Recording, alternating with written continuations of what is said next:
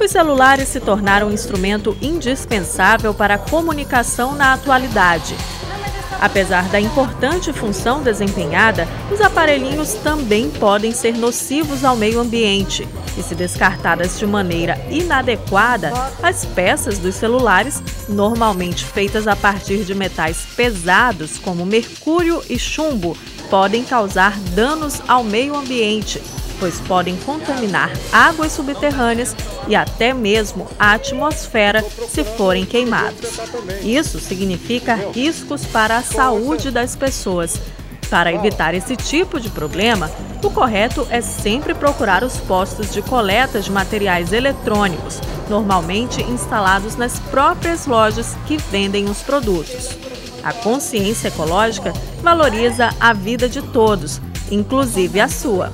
Preserve esse pensamento, sustente essa atitude.